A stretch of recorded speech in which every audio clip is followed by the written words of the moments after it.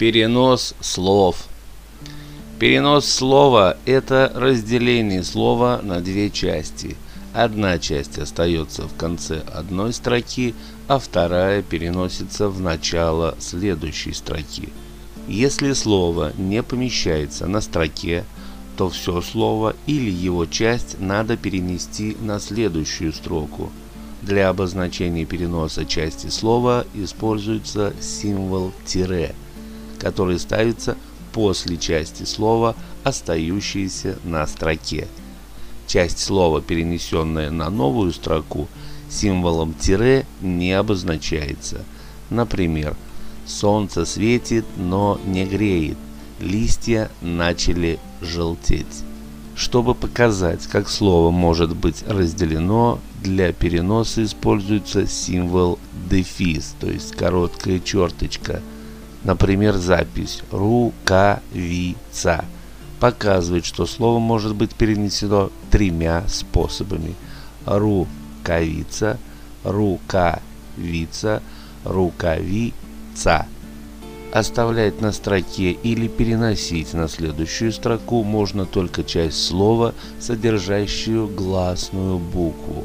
Все слова, содержащие только одну гласную букву, нельзя разделять для переноса, то есть они полностью переносятся на следующую строку. Нельзя оставлять на строке или переносить на следующую строку одну букву.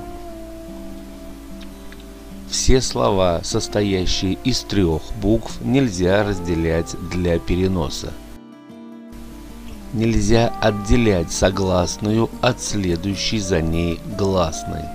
Следовательно, руководствуясь первыми тремя правилами, некоторые слова нельзя разделить для переноса. Например, аист, олень, обувь, овес, ну и так далее.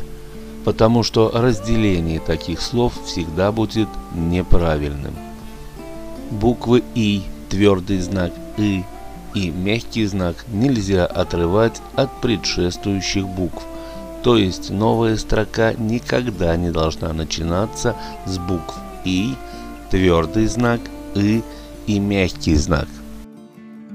Двойные согласные, стоящие между гласными при переносе, разделяются.